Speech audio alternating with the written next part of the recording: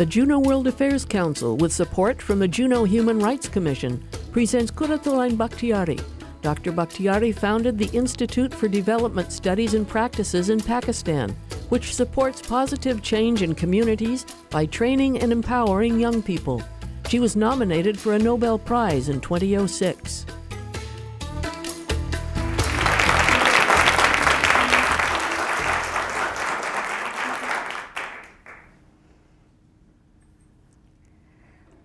Good afternoon, everybody. And I'm deeply thankful from IDSP's behalf, from all the young people from Pakistan, to have me here and to speak to you today. a story, an experience that took us almost uh, 20 years now, but our midwifery program, which is seven years old now, uh, makes me very happy and proud to share in a part of America which resembles so much to Balochistan. Balochistan again a very tribal, original, very much uh, people are connected with their land and with their uh, customs and their traditions and they love where they live. And same things I found here too, similar, lot of similarities. And I am so happy standing here today and sharing that experience with you, especially of women of, of that province. Women who were, who were uh, what can I say, women who were thought to be just good enough to stay at home and not to go out, not to be seen, not to be heard. And the younger you are, the more intelligent you are, and if you are more good looking you are, the more locked up you are. And that is what we were working with. We happen to be working with. It is all like some energy who, who connected us. And I'm, I'm really thankful for all the people in last seven years who helped us see that path and who helped us and gave us support that we dare to be on that path. And we really are uh, making good impact and a real story is emerging which is transforming the grassroots in Pakistan through the women who were not supposed to be seen, not supposed to be heard. So I'll just share with you, uh, I would like you to take you to Balochistan with this film that we have if that's uh, possible. Should I run the film video? Institute for Development Studies and Practices uh, created in 1998 with a focus on young people, uh, men and women both, uh, to empower them into uh, meaningful citizens and uh, professionals at the community level. Most of the uh, time what we saw and the reason of creating the institution was that uh, majority population of is young in Pakistan and majority of this population is missed out of the mainstream uh, livelihood opportunities. IDSP had graduated about more than 300 young women in, in uh, critical thinking, in um, community development activity, education.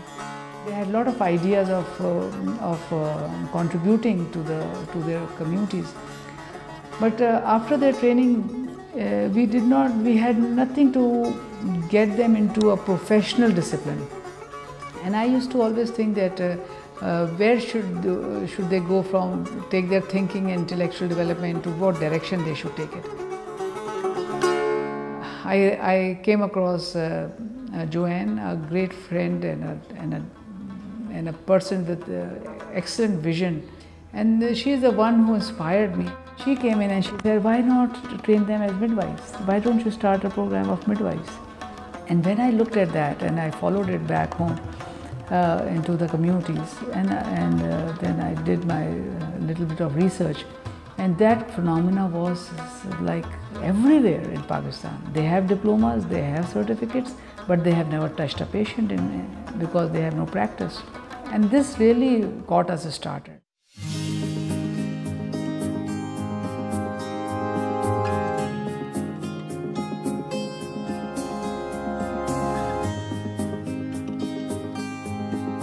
हम students को उनके घरों से लेकर आ रहे हैं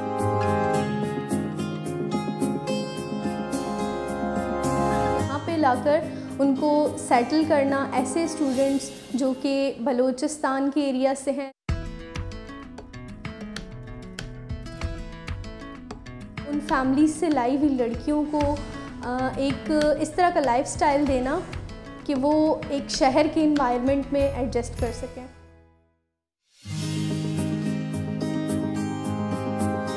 Focus uh, very intensively and very uh, uh, you know seriously on the health condition of the midwives as women themselves.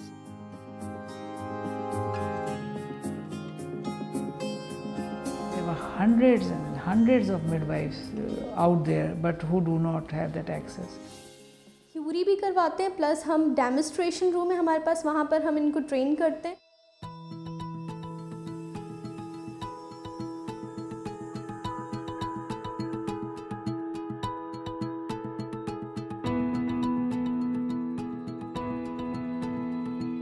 लोगों को सोशली भी तैयार किया जाता है कि इनको माशरे में जाके अब किस तरह काम करना है। तो इनमें लीडरशिप क्वालिटीज़ पैदा की जाती हैं। एज अ सोशल मोबिलाइज़र इनको तैयार किया जाता है। इनको एज अ लीडर के साथ साथ फिर इनको बेहतरीन इंसान के तौर पर तैयार किया जाता है।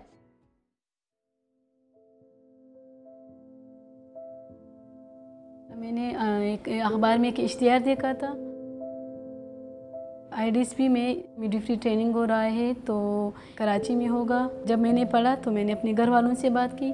तो घर वालों ने मुझे ख़ास रिस्पॉन्स नहीं दिया मतलब परमिशन नहीं देना चाहते थे। हमारे यहाँ पे, हमारे सोसाइटी में इशू ये है कि मतलब लड़कियों को बाहर जाने की इजाज़त बहुत मुश्किल से देते हैं। मैंने बहुत मेहनत करके फिर मैं यहाँ पे मतलब मुझे परमिशन मिली, वो भी मेरी माँ की सपोर्ट से मिली है।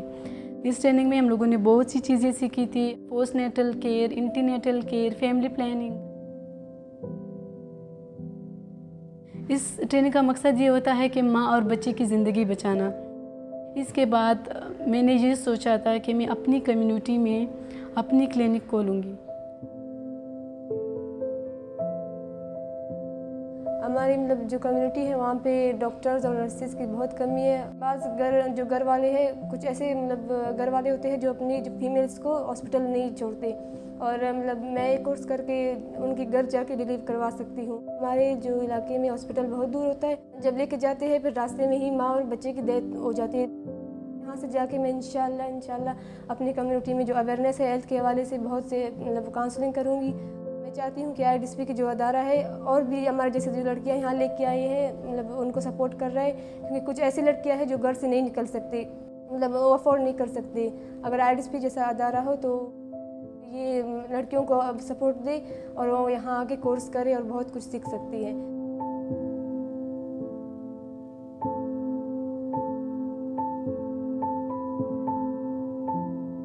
लड़कियाँ होते हैं? उनको पढ़ने नहीं देते जो लड़के होते हैं, वो आगे एजुकेशन बहुत सारे तालीम हासिल कर सकते हैं।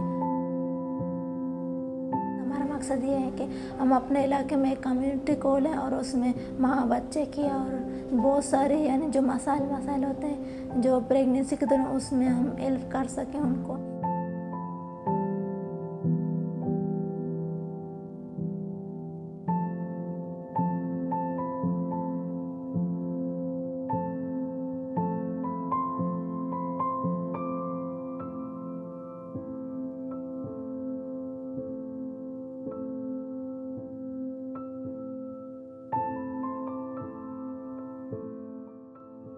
आईडीएसपी में मैं लास्ट फोर ईयर से इस प्रोजेक्ट को लीड कर रही हूँ।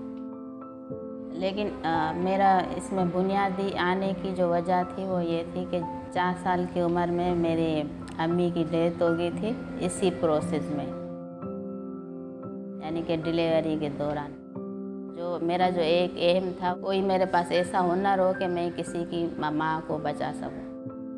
फिर मुझे पता चला कि आईडीएसपी एक इदारा है जो कि प्रैक्टिकल बेस पे काम करना चाहता है। तब उस उस टाइम कुछ ऐसा स्टार्ट नहीं हुआ था। ये इस, ये जो प्रोग्राम है मिडवाइफरी इसकी प्रिपरेशन हो रही थी कि इसको कैसे आगे ले जाया सकता है। तो फिर वहाँ पर हम डॉक्टर साहिबा से मिले, डॉक्टर कुरतौलन से हब में और फिर मुख्तलिफ़ हॉस्पिटलों का विज़िट किया।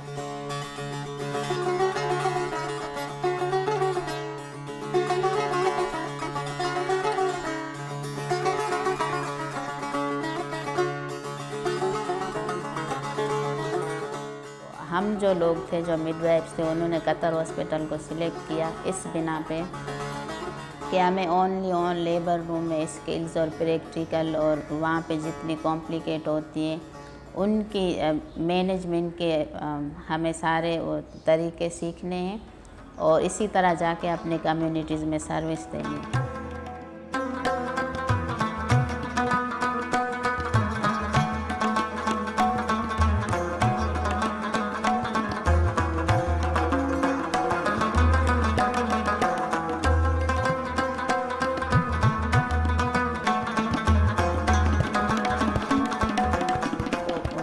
हम लोगों ने वो तीन महीने तक वो कोर्स किया और उसके अंदर तकरीबन मैंने 185 डिलीवरीज कराई और वहाँ पे हम लोगों ने पीपीएच के पेशेंट को भी मैनेज किया एक्लिम्सिया के पेशेंट को भी देखा, उनके जो मेडिसन थी उनके बारे में पता चला कि लोडिंग डोज कैसे देते हैं, उनको कैसे रेफ़र करते हैं और किस तरह घर वालों को काउंसलिंग करते हैं।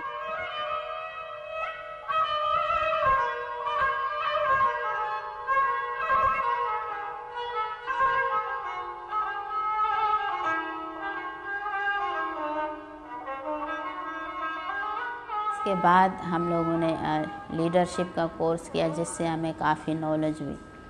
और इसके एक महीने बाद फिर मैंने आईडीएसपी को ज्वाइन किया।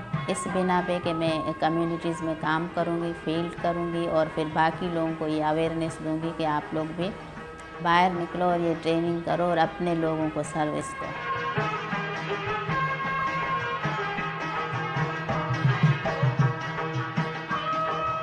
दूसरी जगह जब जब हम कोर्स करते हैं तो हमें सिर्फ़ ये सिखाया जाता है कि ये चीज़ें आप इसको पढ़ो। लेकिन यहाँ पे जब इंसान आता है तो उसको अपनी वैल्यू होती है कि मेरा काम क्या है, मेरी वैल्यू क्या है और मैं आगे अपने आप को बढ़ाने के और मौके किस तरह तलाश कर सकती हूँ।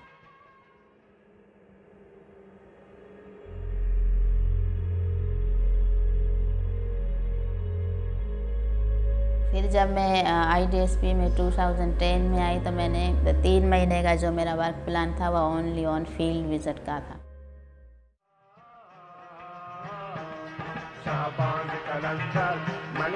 उसमें मैंने फ़ील्ड की पूरे ओवरऑल बलोचिस्तान में।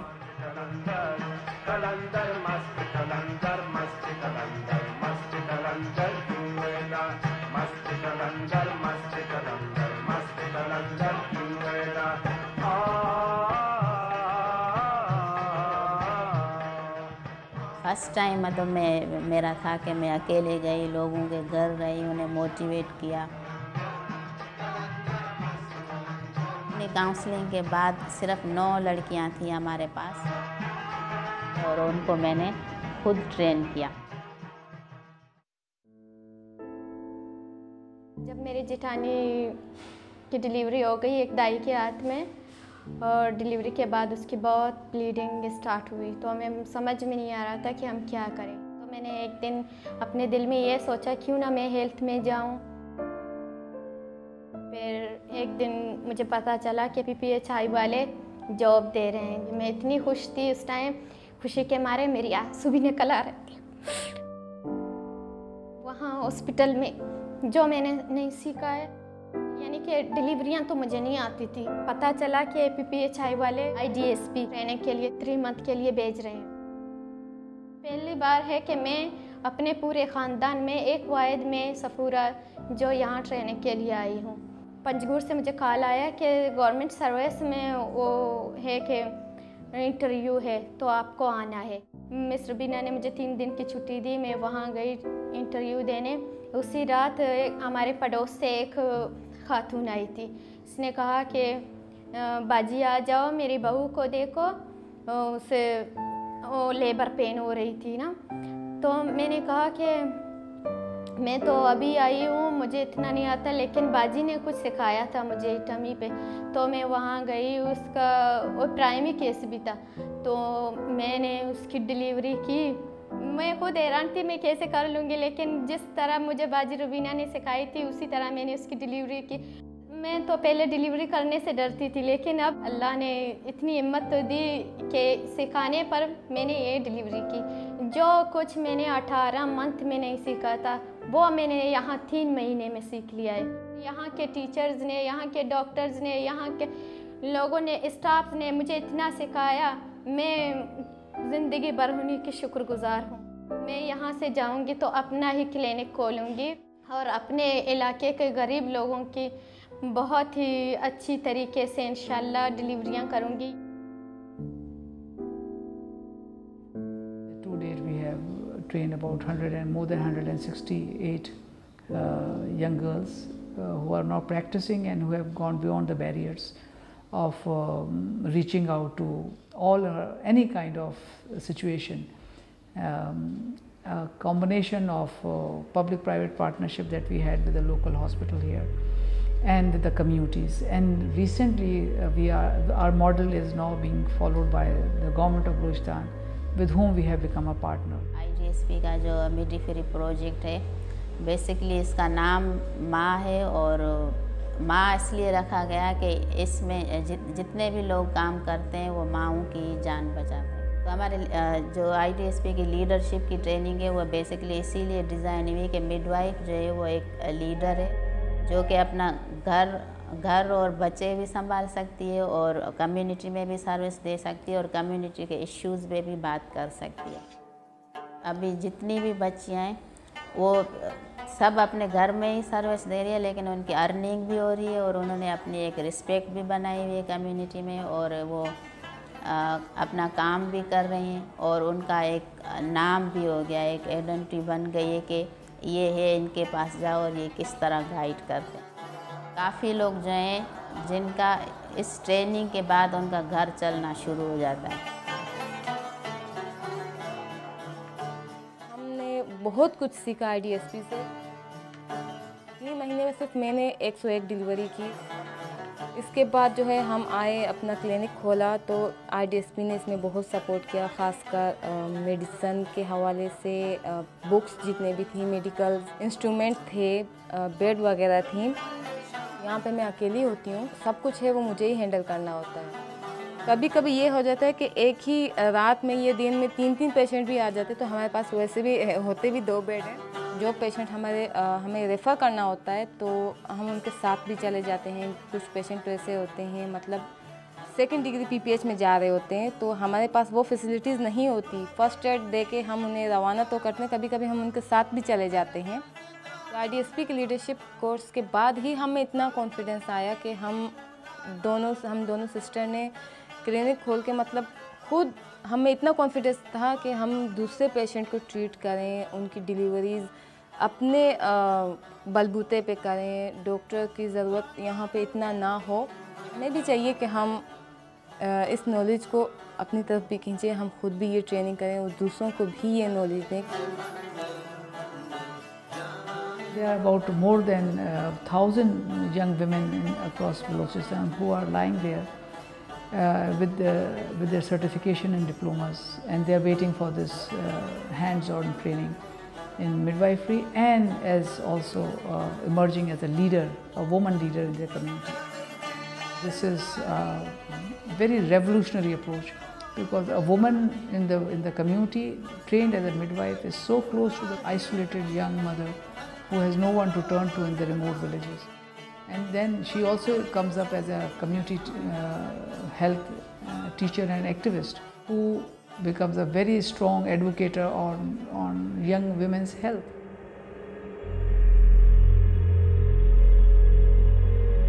This is almost, it's becoming a movement now. We really want to uh, continue this program and we are constantly looking for resources and support.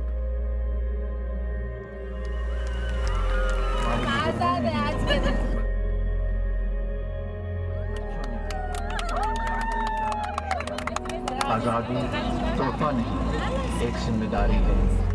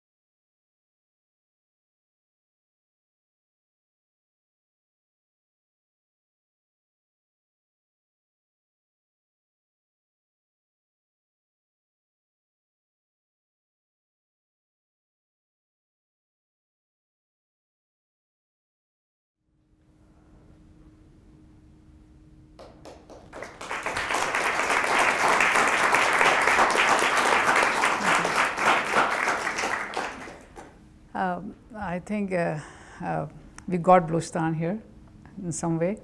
There's still more more information uh, we have on actually what IDSP is all about and where it, it is situated. But I think at this point, if um, uh, we can have some interaction, some question answers for more directed uh, elaboration in, in, view of your questions or, or any concerns or any explanations, that will be better. That will be great.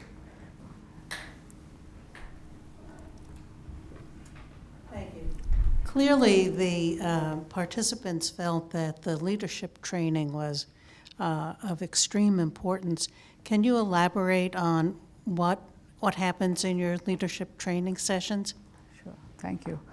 What uh, our first uh, thing is to for the girls to open up and share their stories of their own lives, what has happened. Nobody has heard them before.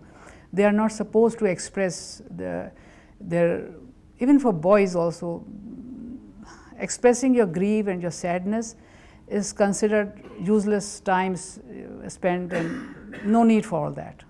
Uh, what is this? Telling about your sadness, telling about your weaknesses, saying things which is opening up uh, families' uh, uh secrets, how they treat their girls. So nobody cares about that.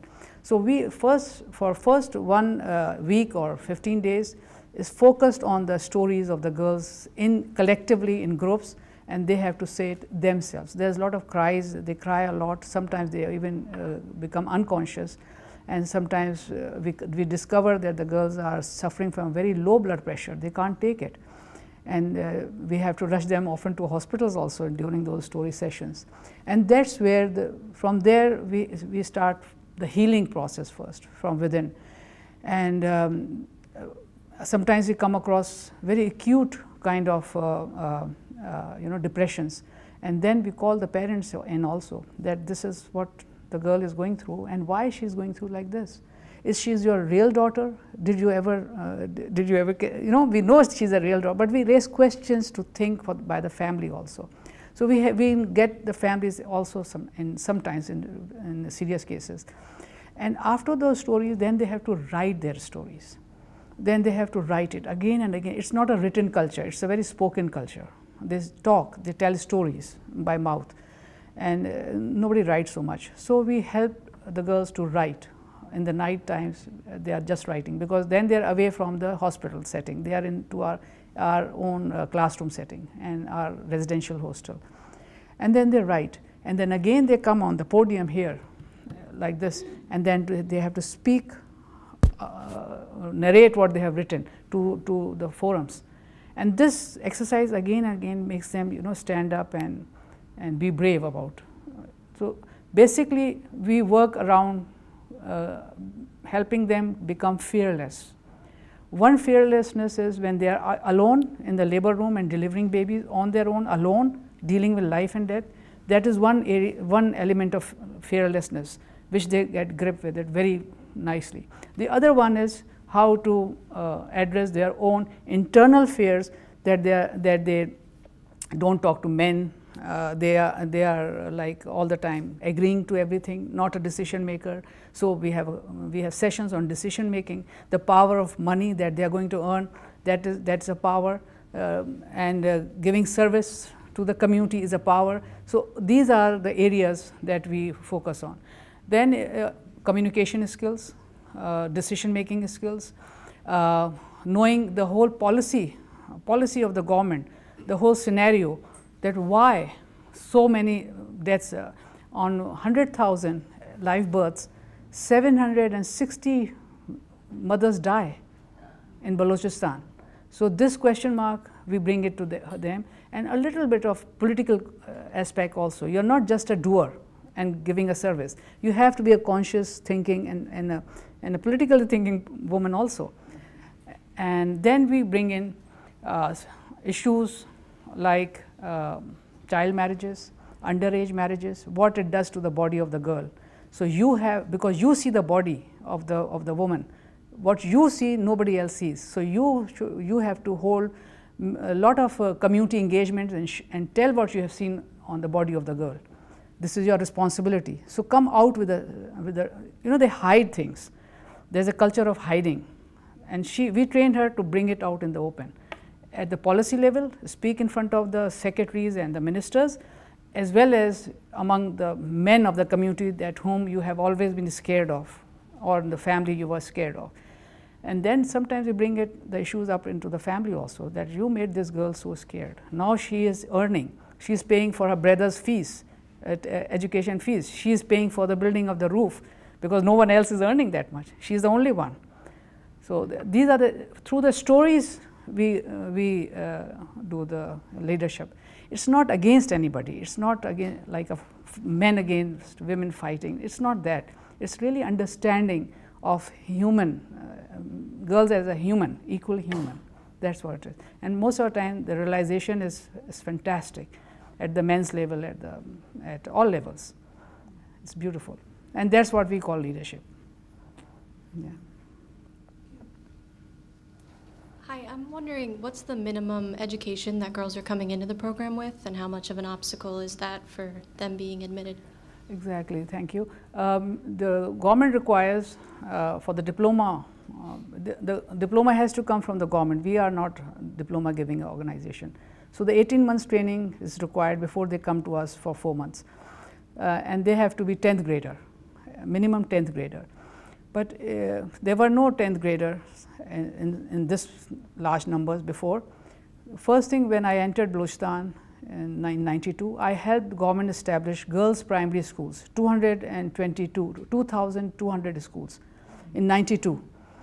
So those girls are from those schools are coming out. So I had to stay I wanted to stay to complete the whole cycle of, uh, it's, it's not like a donor driven project, uh, USAID or other uh, donors comes in with money and it's, it's time bound, time bound, money goes, project goes, everything goes. So I resolved that I have to show the, the whole demonstration to the communities, to the people who have never seen empowerment of girls with, with education.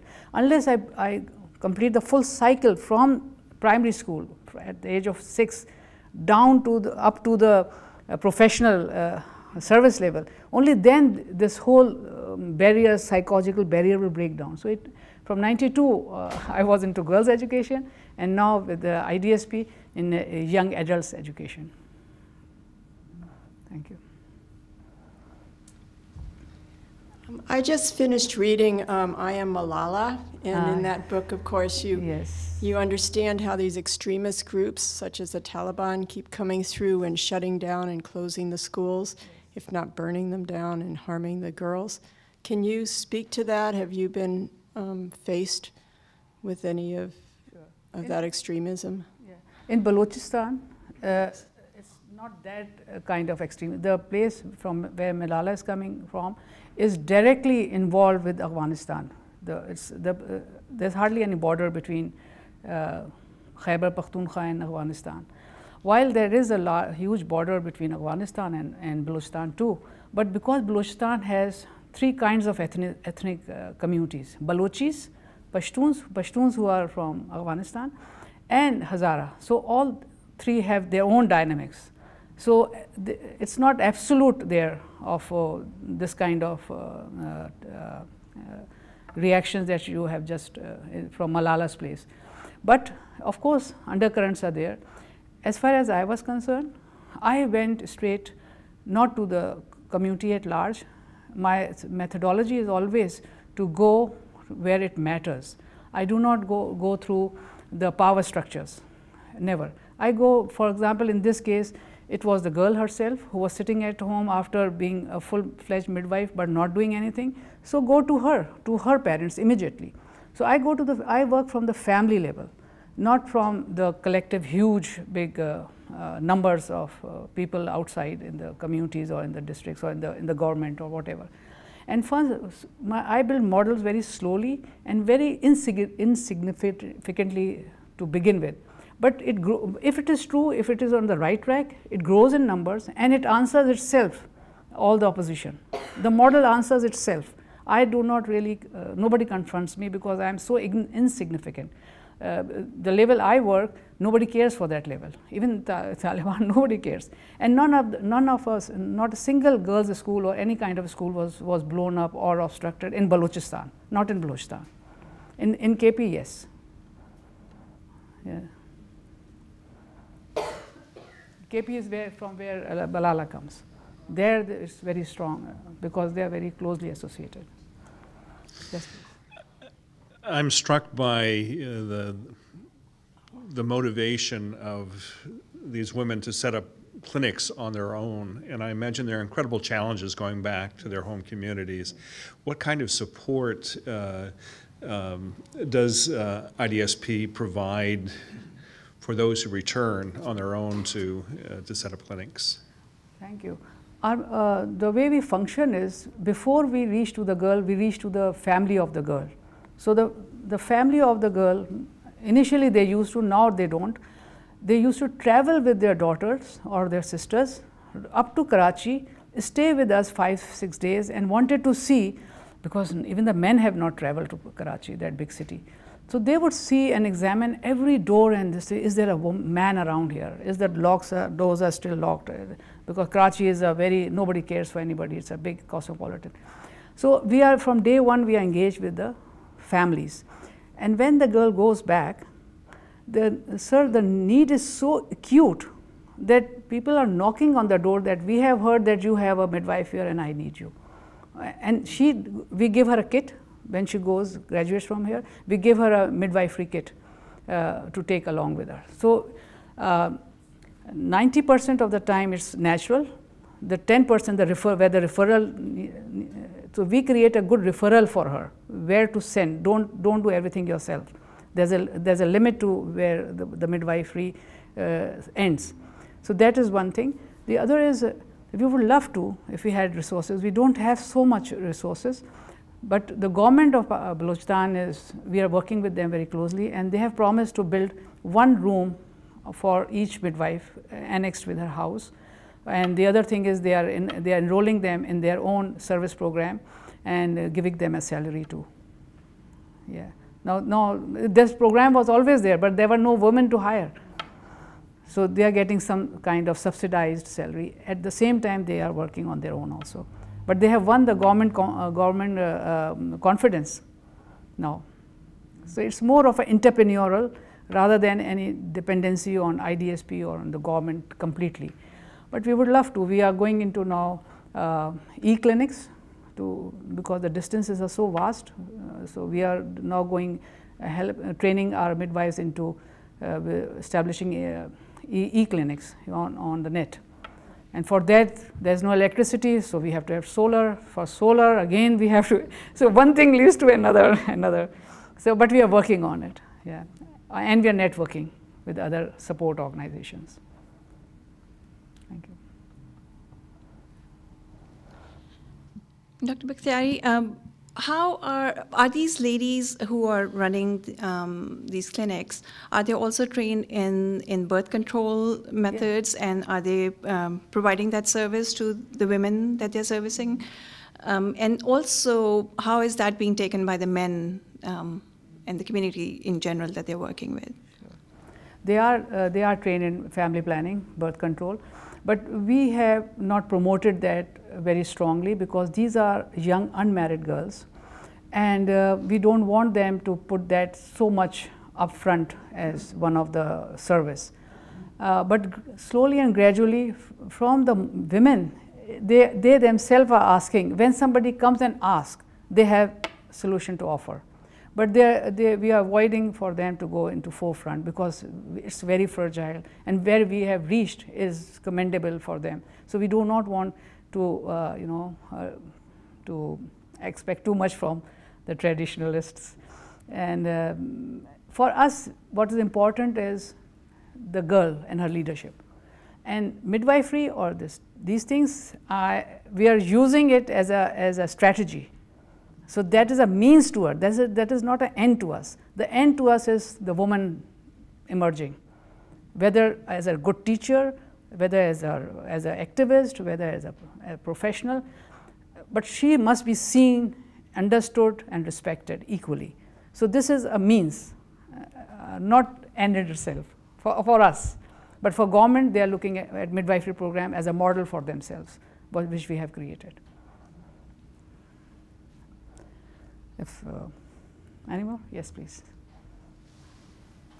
First of all, I'd like to thank you so much uh, for this incredible uh, work of empowering women. I just wonder, um, as a mother, sons, and the husband, how, how influencing men is often a woman's greatest challenge. I have found. and I'm wondering if, if uh, you found any inroads to getting the men to accept this new empowerment of women, and um, if you feel like there's a sense of hope and progress. And I mean, there obviously must be because this work is going on, but how do you achieve that to get the men on the same page supporting their women and sure. whatever? Thank you. Yes, that is a general understanding. Specifically speaking from this, uh, from midwifery project point of view, what uh, we have seen is th that it's the mother-in-law who's obstructing most uh, to the to the young uh, young uh, young daughter-in-law and not allowing her to go to the hospital. It is, so the sons and the men of the family are, are kept so far away as soon as uh, birthing thing is being talked or as soon as pregnancy is talked, men are nowhere close by even. Yeah, they, they just leave everything to their mothers or to their uh, to the elderly women and all, and they just hang around way far away.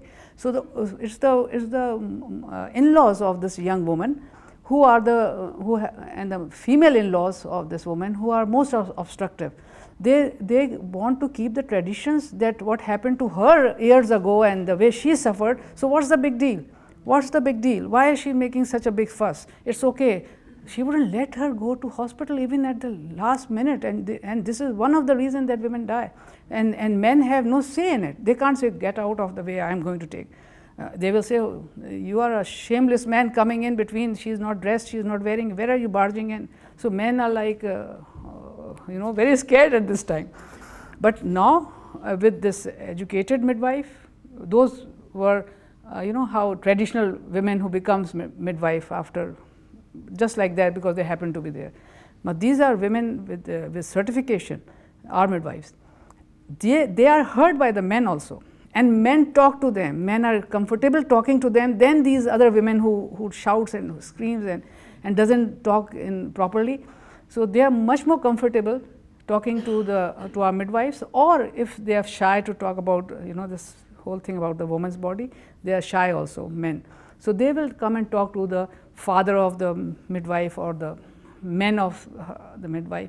So, and the men are also shy to talk to their sister or daughter about it because it is so much involving woman's body, they feel bad uh, out of respect. So they would go to the mother of the mid, uh, midwife and the mother will come around. So it's, it's, it has broken many barriers.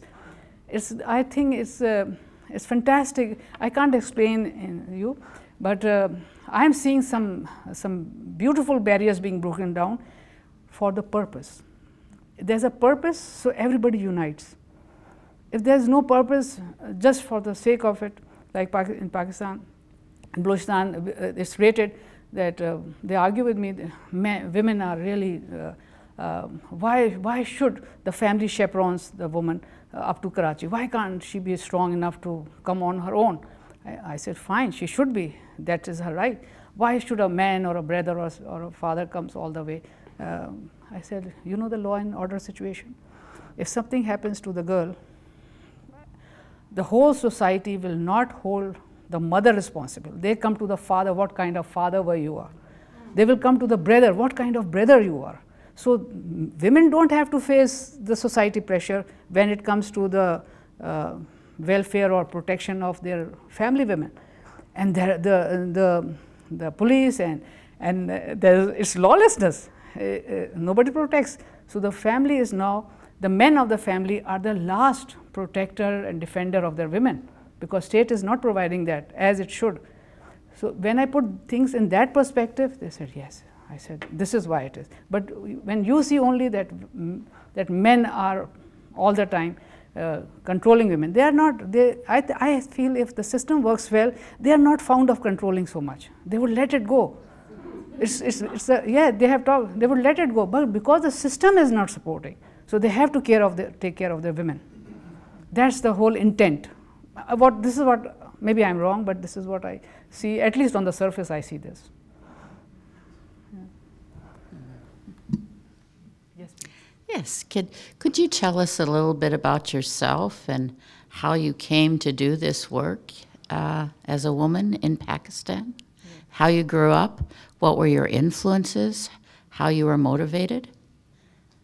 Yes, I'm going to be 68 on 25th December this year. A long story. but uh, to be very, uh, you know, precise, uh, my story is on the uh, with my name Quratul Ain Bakhteari, TEDx Karachi, and it's all there um, from uh, my childhood till today. Uh, but being in a summary, in a short form, I can say that I was, uh, my first initial years until the age of 12, I was raised in Pakistan's refugee camps. Uh, and because Pakistan was just created and the population, uh, the country had no place to, to for, and houses for its people. So my parents were also migrant from India. So uh, my first 12 years that I know of, uh, I remember, and that was my basic schooling and my education with, with no infrastructure at all. So surviving on your own and uh, as a child growing on your own looking for your own needs and meeting it yourself nobody is there to hear you. But all happy all nice no bad memories. The struggle and uh, taking uh, life as it comes there's no water or of course there's no water so everybody doesn't have water so we also don't have water so nothing big. So let's go and find water all right uh, um, no food all right. Many people don't have food. Let's let's go to the friend's house who, whose mother has already cooked. So he would he or she would take us there. And you know it was like uh, okay life this is the way life is fine. So that's how i grew up. And then uh, ever since that thing is still there uh, i feel still like a as a nomad. Uh, i don't have that strong connection with with with home or with things or with i am more of a people person because people raised me in those first 12. It was community who raised me. And we, we used to be in people, uh, my friends' uh, children's homes. We would sleep there and next morning we'll find ourselves in our own bed. We did not know where we sleep, where we eat, because there is nothing. Uh, there is just, just, no, just, a room and nothing. Uh, so that's how we grew. And I think that was good, great for me. I'm happy I, uh, that uh, those 12 years were there for me. And uh, so I have learned to create and live uh, by meeting my own needs and by removing obstacles uh, collectively. I, I can't take barriers, I can't take obstacles. I think I, my mind thinks and my experiences has said that you can do everything. There's nothing you cannot do. Uh, my mother brought me up by saying never say no and never accept no as we were small. Just go and do it. Just go and don't tell me, go and do it. Oh, we are stuck in such a place. All right, take your brother and take some boys, go and get it done. She wouldn't even look around us uh, where I am stuck. Oh, what has happened to me? and when we come back, bruised and whatever, she would make a big heroic thing out of it. Wow, wow, great.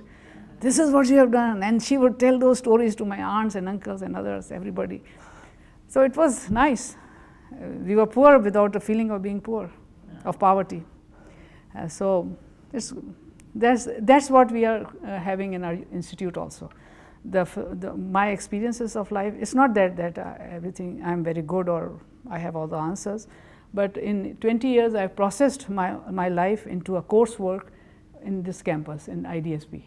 So you see, here also I feel I'm again in my camps days and uh, we are making it now the structure is up. And the community people came and they made a nice big nice mud structure uh, for us for our institute. Um, so that's what it is i think. I i don't know whether i uh, who asked that question. Yes. That uh, did i answer it yes, clearly? and uh, i was married off at 16 arranged marriage yeah. Had three sons lived with in-laws and everybody very nice people but i was different. So I gave very bad time to my husband and my in-laws. uh, yeah, but they were good people. They were all very nice and kind to me. And so, uh, well, there were ups and downs. There were a lot of resistance because this behavior, no one in Pakistan those days used to. Women never used to do this way. But I was raised in freedom. On the, I was raised on the open lanes of the refugee. I did not know how to sit inside like a good, nice, uh, happy mother and a wife of a rich man. so, yes, until today I don't know. yeah. So it's nice, whatever it is, it's good. Uh, I'm happy. Uh, I'm very happy that uh, some energy has given me because I don't belong to Balochistan and they are so uh, nice and kind to me to offer this and I can do things there. So it's beautiful. It's very nice and uh, I think uh, this is what education is all about and should be very, that you, you can change the diversities into and issues and barriers and obstacles of life into into a meaningful roadmap for yourself and your, for your generations to come and create uh, different reference points, not the one that good school, high quality education, good quality school, then Ivy League and I don't know what all things I hear and then you get a good job and then you are CEO, all right, then what? So what? What happens then? What, then what happens? If you are big, huge house, lot of money, you are a CEO of something big, then so what? After that, what? So this is a there's a fundamental problem in today's education, formal education system, and we are challenging that. Our institute is challenging the formal education system. Yeah, and we have got lots of graduates and models who can stand by that challenge. We have about 180, uh, 100, 100 and 1 lakh 80,000 80, uh, graduates, 180,000 graduates now. Yeah, in 20 years. All of each one of them is a story. So I tell the government, listen to their stories, and they will tell you what, what the teaching should be, what the life should be. Because Pakistan has 70 percent of its population is between 15 and 35. Young population. They are not a loan from World Bank or IMF. They are yours. They are, the, they resource. But everybody, nobody acknowledges this resource. Everybody acknowledges resource that is underground, the oil, the gas, the, the gold, the copper that is underground in the mountains of Balochistan. But these uh, humans, these children, they are not considered like resource. Isn't that strange? So everything has to be really turned around, and this is what we are all about.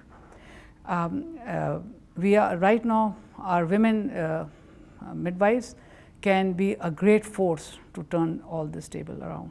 And uh, we have about 1,000 girls still waiting, and each midwife uh, to get them going in four months training cost in those uh, three years ago it was 1500 now it is 2000 rupees uh, dollars for one midwife to get into that place of activism and that's what is our concern right now that we do not let a single diploma holder midwife certified by the government doing nothing, sitting at home.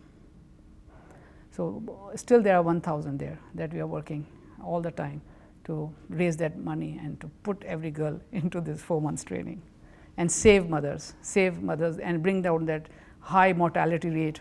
It's the highest in Asia that Balochistan is suffering from, highest. Naturally, so many mothers are dying the province uh, or their people will be a sad people. Children are raised without motherness in sadness. So that is a negative, already negative startup point of a, of a nation. People raised in, children raised in sadness, how can they give happiness? They will make others also sad. I was sad, so I will make you sad also. So this is where uh, I believe that uh, mothers should be saved at all cost because mothers are extension of God. Godliness. Thank you so much. If any more questions or yes, please. Thank you for coming. I um I'm on the board with Sarah, and she's also my medical care provider, and she's been talking about you for since I've known her. So this is pretty special. yeah, yeah. Um, I have some questions. We have all these systems in place. We have international policy, international human rights, um, international development. What works well? What's not working well? What are the directions that you see the world going in and ways that um, we can focus our attention and resources? Yeah. Yes, a very, very complex question, but a very simple answer. Connect with people directly of all nations. Do not trust or believe the media, the government policies. Connect with the people directly. And it is totally a different thing. Like I am from uh, Karachi, an urbanite, never visited Balochistan ever. I have no any background of that province, and people were telling me, "You are going to that place? They, they kill. They don't like women. The women are all indoors. So they will. next day you will be you will be kidnapped." But these are this was all media and people in Karachi were telling me. Within Pakistan, they were telling me of a certain place within Pakistan, and I did not. I don't listen because my early childhood never we never used to listen. yeah, we would do our things. So I still do my own thing, but what my heart tells me, and I follow it, and it never tells me wrong. Uh, so I just went, and it was totally different. Not a single man opposed me. I wasn't wearing the way they wear things or covering the eye because Karachi we don't do that. Now we do it. These days it's different, different.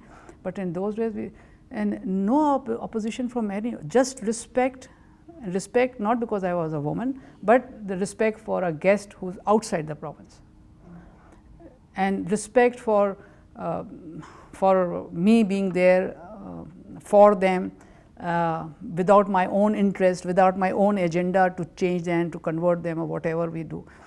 They, once they assess that, and it took a long time, four five years, because the more isolated people are, and they live more on their own wisdom. So they, they, they take their own time to assess you and to trust you. So there is a difference I realize between respect and accept. So respect comes first and then accept comes much, much later, much later. And uh, that's what happens if you, work, you just connect with people. People are divine, believe me. Human beings are divine. So why should you get all this system in between divinity and, hum and people? Get rid of all that. That's what I do. Yeah. Well, thank you very much for bringing so much happiness to the world.